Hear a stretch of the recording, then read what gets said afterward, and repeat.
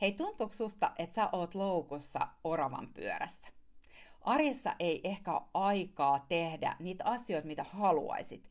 Ei ehkä aikaa harrastaa, viettää aikaa perheen ja ystävien kanssa, matkustaa, tai sä et sitten pystykään ehkä toteuttaa niitä asioita, mistä sä nuorempana oot haaveillut. Saattaa olla, että sulla olisi loma alkamassa, sä oot ihan puhki, tai sulla ei ole rahaa lähteä sinne kesälomareissuun, mistä sä oot haaveillut. No jos joku näistä asioista osuu, niin tämä video on just sulle. Mä oon Maria, mä oon online-business-yrittäjä.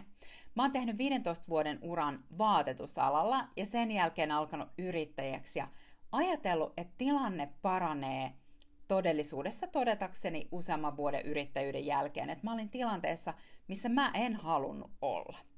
No rahaa ei tullut riittävästi, mä olin sidottuna omaan yritystoimintaan niin fyysisesti kuin tietenkin myös taloudellisestikin.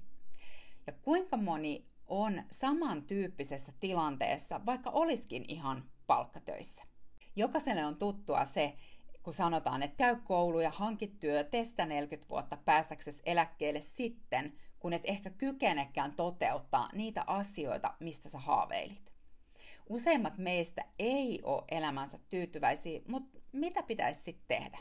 Asioita, mitä ihmiset haluaisi tavoitella, on aika, nimenomaan aika tehdä asioita. Raha, eli oman taloudellisen tilanteen tasapaino ja taloudellinen mahdollisuus toteuttaa asioita ja omia unelmia. Terveys, minkä hoitamiseen jää usein arjessa liian vähän aikaa, ja sitten tietenkin perhe ja ystävät.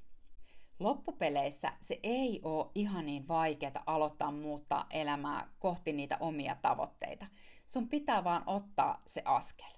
Se voi hetkellisesti tarkoittaa, että sä joudut rutistaa vielä itsestäsi vähän lisää, koska itsestäänhän ei tapahdu mitään. Mutta mä sanoisin, että se on sen arvosta.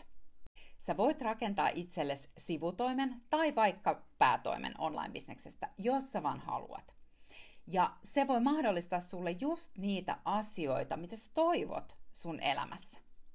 Jos sä haluat tietää lisää, niin laita mulle viesti bisnes, niin katsotaan yhdessä, olisiko online business hyvä ratkaisu sulle ja miten sä pääsisit alkuun tässä.